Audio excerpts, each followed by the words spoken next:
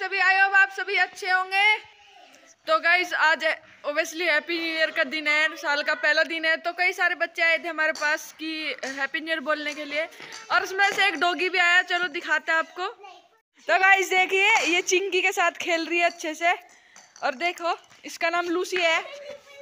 और ये भाई लेके आया है इसको। हेलो गाइस मेरा नाम सक्षम।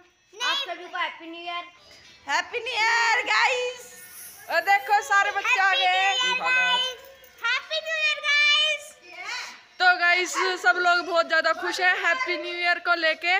और आज का दिन बहुत ज़्यादा एक्साइटमेंट होने वाला है। तो गाइस आज तो डबल खुशी का दिन हो गया है, क्योंकि आज हैप्पी न्यू ईयर के साथ साथ मेरे वन के भी कंप्लीट हो गए हैं। और तो थोड़ा सा सेलिब्रेशन तो बनता है। तो शाम को करेंगे थोड़ा सा और दिखाएँगे आपको भी पूरा कि हमने क्या क्या क्या है अपने दिन में। तो बने रहिए हमारे साथ। मिलते हैं जल्दी।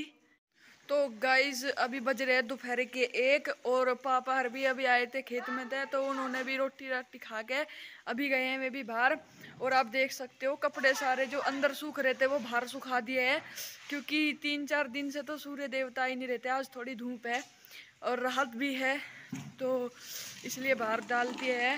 तो गाइज़ अभी आया है हमारा भाई यहाँ पर तो चलिए आपसे मिलवाते हैं उसे। हेलो गाइज़ नमस्ते। मेरा नाम चेतन है हैप्पी न्यू ईयर धन्यवाद। तो गाइज़ जैसे कि हमारे वन के हुए तो चलिए मम्मी जी से पूछते हैं कि उन्हें कैसा लगा। तो मम्मी जी हमारे वन के हुए आपको कैसा लगा? अच्छा लगा। बढ़िया। जो तो गाइज़ शाम के बज चुके हैं पाँच और जैसे कि आपको पता है कि हम गाँव में रहते हैं तो गाँव में नॉर्मली सभी जल्दी खाना खा लेते हैं।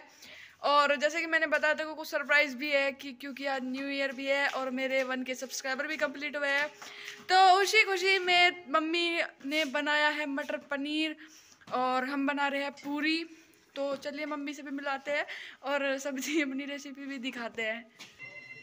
तो गाइज़ अभी आए हम अपने किचन में और आप देख सकते हो कि मम्मी जी मटर पनीर बनाने की तैयारी चल रही है।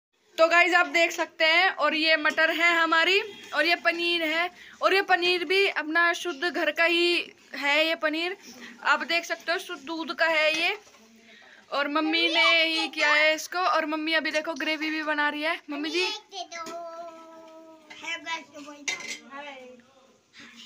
तो गाइज़ आप देख सकते हो चाची जी यहाँ पूरी बनाने की तैयारियाँ कर रही हैं। ये देखो, आटा गूंद रही है, और हमारा मिट्टी का चूल्हा भी जल चुका है। उस पर हमने तेल रख दिया है। और वंदना यहाँ पे बैठ के हाथ सेक रही है। चिंकी ये पनीर भी खा रही है साथ में क्योंकि ये बच्चों के लिए भी बहुत अच्छा रहता है। तो गाइज़ हमारा खाना बन के रेडी है और अब हम सबको दे रहे हैं तो आपको दिखाएँगे हम।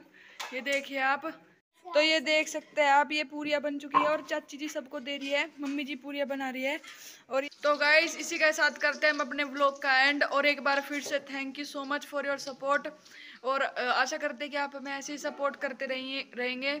मिलते हैं आपसे जल्दी नेक्स्ट ब्लॉग में, जब तक के लिए स्टे सेफ़ स्टे हेल्दी जय श्री राम।